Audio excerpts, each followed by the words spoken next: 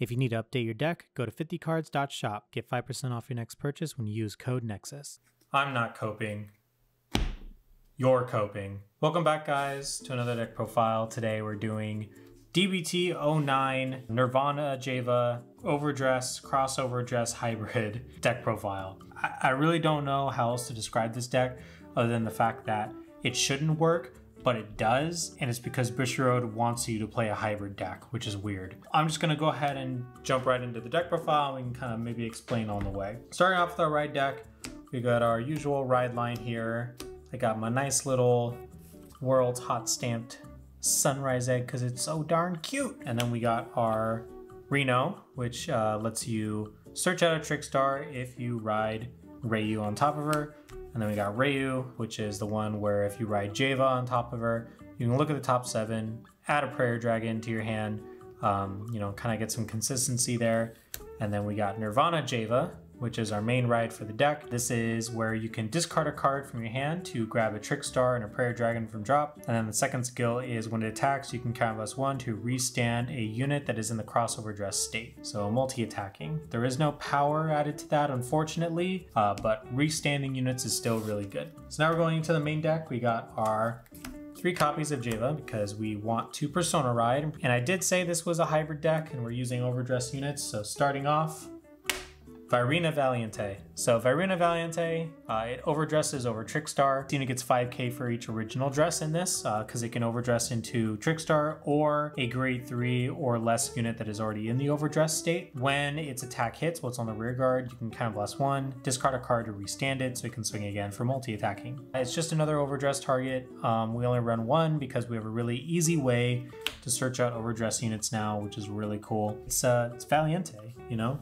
It's got some, some really cool Chronojet aesthetic to it. We're moving on to orders. I am running two copies of Clad in Prayer, and this is the card that I know people are like, ugh, don't run it, it's bad. But you know what? This card is cool. What Clad in Prayer does is you cast it if you have both the crossover dress and an overdress unit on your board. The overdress unit gets the ability red text when your Vanguard attacks. Once per turn, you can stand this unit. And then the crossover dress unit gets 10k. So I know while the crossover just unit kind of like got the the worst end of it by getting you know the power instead of like some other cool ability, given the overdress unit the ability to just restand when your Vanguard attacks is really dope.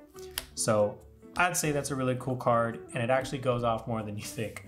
But I'm only running two because I am running one copy of Gratis Gratidale, we are coping so bad with this deck that we need Persona Ride that bad. So what this does is you can only run one in the deck. It's basically your Persona Ride. So you play it, and if you're on grade 3 and you have not ridden this turn, you can activate Persona Ride, draw and give your front row 10k. So this is if you don't have your Jhevas in hand, and you just have another card to give you access to that. If you don't have Gratis Gratidale, you can run another Clad in Prayer.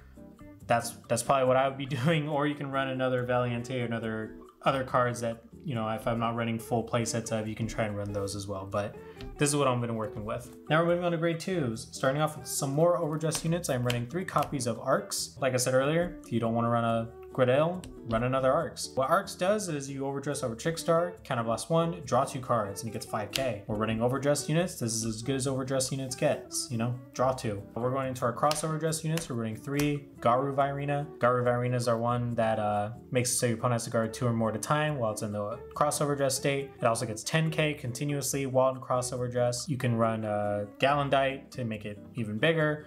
So that way, you know, you're swinging with a big number, and then Clad and Prayer makes this bigger as well. And this is your restand target Jheva, so it's just, just an overall really good offensive card. The reason I'm running three is because you can recycle it with Vilsphyrina. So Vilsphyrina is when you crossover dress, you can choose a card that's not this card with the crossover dress ability and add it to your hand. So if this is in your drop, you can add it back. And also has a defensive skill. So this gets continuous while in crossover dress, plus 5k, plus 10k shield, so when you intercept with it, you know, you got a little 15k shield there. So that's also really nice. It also cannot be targeted by your opponent's card abilities while it's in crossover dress. So it cannot be imprisoned or retired or bound. So it's just a nice little shield to have on your board. And it's another crossover dress unit. Prayer Dragons for grade twos.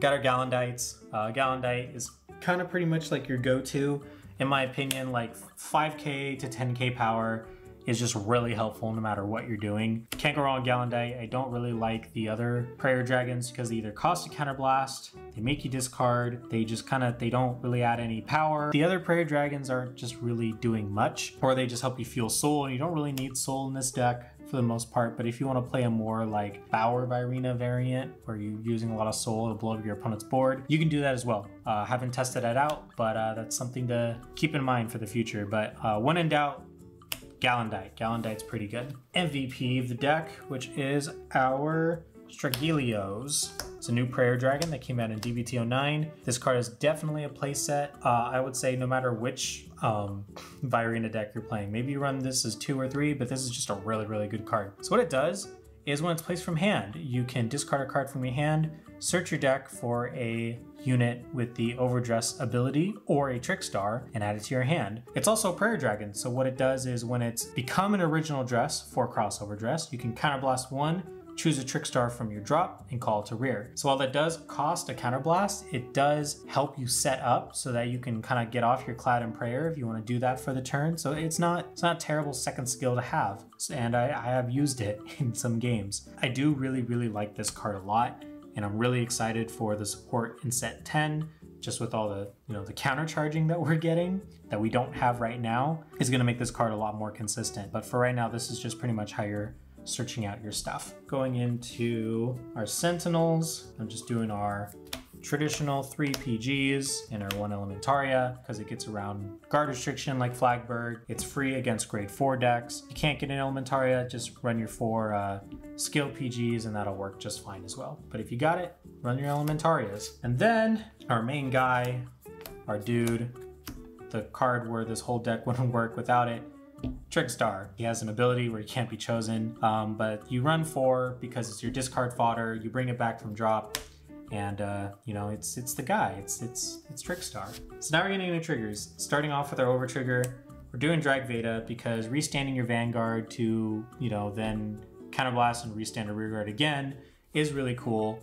Um, so I like I like Drag Veda because restanding your Vanguard is fun. And then I'm running uh, Burning Flail, because it's a trigger with the skill. Um, you don't really need it, like genuinely. You could really just get away with running vanilla crits because you don't really use the soul in this deck whatsoever. If you don't need it, you don't have to, but I always say that triggers with skills are better than triggers without skills, so you can do with that information with what you will. Uh, and then I'm running, whoop, put the foil on top, four more vanilla crits because crits win games. Then I'm running three of the shield draw. So what this one does is if your opponent's at grade three, this gets five shield. We're running this and not fronts because I need hand. if you would rather run fronts, you can do that, but I feel like this deck really needs the hand. We got our four Ronas and our one Draco Kid Draco Kid is where if your opponent gained a crit by a card ability instead of by a trigger, you can give an extra 15 shield. That's really good against a lot of these decks these days. Going down the list, we got Ava, Bazarga, excuse me, Barrow Magnes, plenty more decks I can't really think of. There's like other decks where rear guards gain crits as well, so it comes in handy in a lot of uh,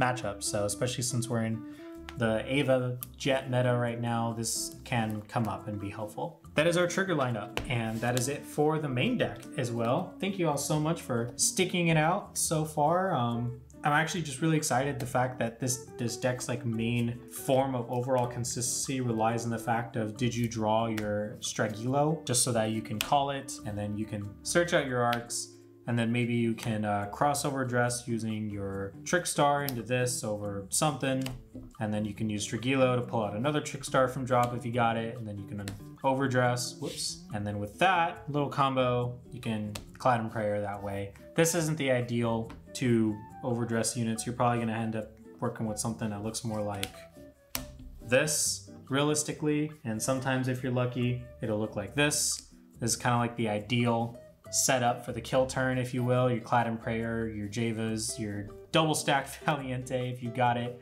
Even just one stack is fine. Just for that pressure of like, you know, if this hits, this restands this is to restand and it's got all this big power from Clad and Prayer and you know your opponent has to call two at a time. It's a fun deck. I'm actually having a lot of fun with this deck, but it's to get a lot better in set 10, so I'm really looking forward to that. Thank you so much for watching, and I'll see you all in the next one. Bye.